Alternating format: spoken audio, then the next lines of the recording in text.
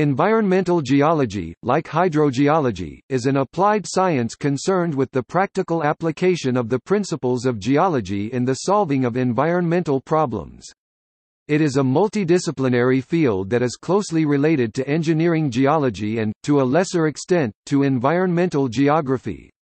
Each of these fields involves the study of the interaction of humans with the geologic environment, including the biosphere, the lithosphere, the hydrosphere, and to some extent the atmosphere.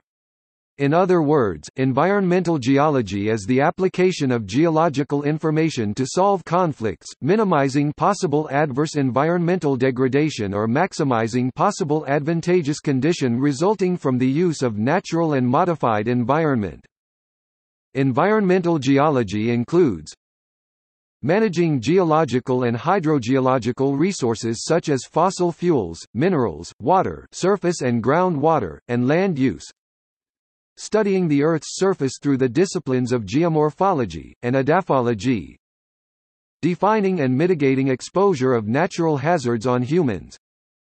Managing industrial and domestic waste disposal and minimizing or eliminating effects of pollution, and performing associated activities, often involving litigation. A peer-reviewed journal in the field is Environmental Earth Sciences ISSN 1866-6280, formerly Environmental Geology ISSN 0943-0105.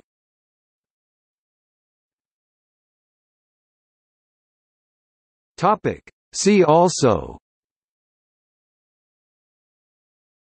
Economic geology Soil contamination